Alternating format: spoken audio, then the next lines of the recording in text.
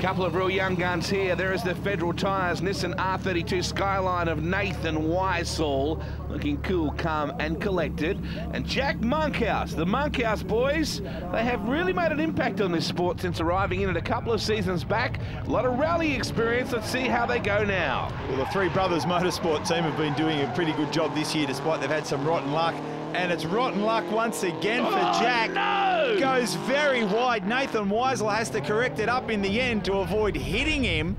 That's not going to look real good with the judges. They're going to continue the run, but big advantage to Weissel. Yeah, unfortunately for Monkhouse, the line was just completely cactus coming out of that corner. He swept back across and Weissel, if anything, in the Federal R32 Skyline, did a great job to avoid hitting him. A famous car insurance replay shows how close that got.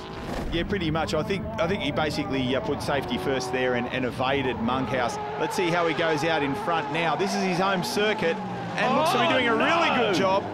Monkhouse is in the doghouse. Man, that thing was evil coming into turn one there. 15 to 5, Weissel sends Jack packing.